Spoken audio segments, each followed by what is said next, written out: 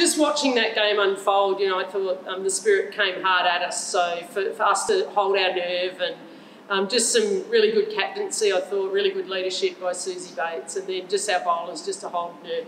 This young girl here, Anju, has just been uh, bowling so well for us through the whole tournament, not not just tonight, and we're just really, really proud of her and the performances she's been getting. Yeah, Anju, two wickets out there today. Um, it was just a phenomenal day for you, and you're in the final. How does that feel?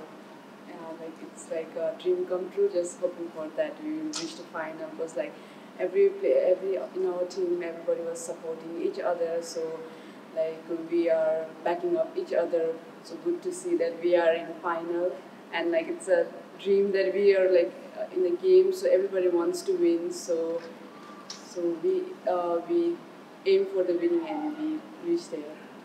And Suzie, into the finals, did you think this might come when you had your hands closely grasped around that trophy on the first trophy reveal day?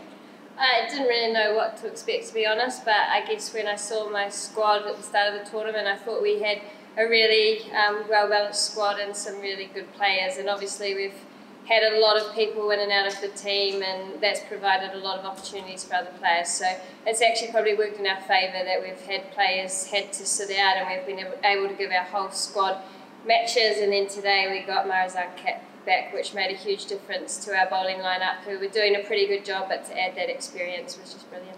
And it's been a bit of an up and down tournament for the Falcons. What came together today? Uh, our opening batting partnership was pretty classy, so to have that left and right hand combination and for them to not lose a wicket, I think, until the 30th, 14th over, that really set the game up for us. So um, they gave us enough runs to defend, and um, Atapatu's been brilliant all tournament, so yeah, I think that batting really helped us. Um, Jo, was there anything particular that you put into motion for today's game? Uh, not really. I suppose the only difference was that we were going hard with the first 10 overs, I mean, our batting and our bowling when there were bonus points on offer. I think today, you know, being a final, we had to bring 20 uh, our 20 over game, and I, and I think it was just amazing how we did it. Obviously, that as uh, Bates has said about getting Kapp back into that, that bowling lineup, we probably used only five bowlers. Um, Suzie's been used, oh sorry, six bowlers, but we have been using about seven. So we wanted to try and refine our bowling and our batting, and yeah, and I think we did it perfectly today.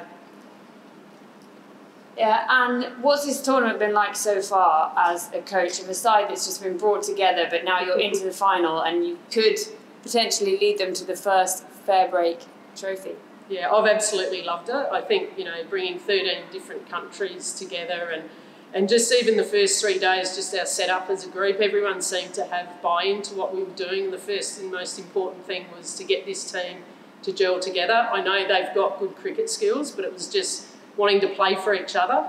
And then, you know, even in our team meeting today, I felt like a lot of the talk was sort of coming from the from the players of how we wanted to go about today. And and obviously we've still got one more game to finish this off. And the scary thing is for the other teams is that I don't think we've actually played our best either. So I think there's still some things left in, in the tank there, and we're just yeah just really proud of um, yeah our players and also our, our sponsor K-Man as well. Like they've come on board. They took us out to dinner last night, and and we had a really great night with them, and it's yeah it's just really exciting. So we're hoping to finish off with one more. Yeah, so Anju being taken out for dinner by K-Man, you've got the likes of Marizanne Kapp going back into your side. Is this just been a dream come true for you? Yes, for me, like yesterday I had a lot of fun, like uh, going to water park was like first time experience for me. And First time she'd seen the beach yesterday ever and salt water. Because in Bhutan we don't have beach, we have uh, the mountains and all. So it was amazing and thank you to K-Man for that Tower. And thank you FairBreak for this and uh, Cricket for supporting and Suzie Beth, the captain who is always back behind us when we are when we uh, are low. She is always boosting up uh, more. So thank you so much and thank you to coach for being uh, helping us for this and uh, helping us and we reach to final. Thank you so much. Uh, and Suzie, was there ever a moment during that game that you thought, you know, maybe when Dunkley was racing along that it was going to get away from you? Yeah, absolutely. The way she was striking it, um, we dropped her, which was off Anju's bowling, which was a bit of a shame. And I knew with their batting lineup and how they finished games that they could score anything at the back end. So there was never a stage I felt comfortable, even that last over. I knew Sophie Ecclestone against spin had the ability to hit six sixes, so I was nervous the whole time. But I think Mariko Hill's catch actually changed the momentum for us. That was a really great catch under pressure. And then Gunjan to come on, she wasn't expecting to bowl today, and she did a brilliant job against Dunkley, who's one of the best batters in the world at the moment.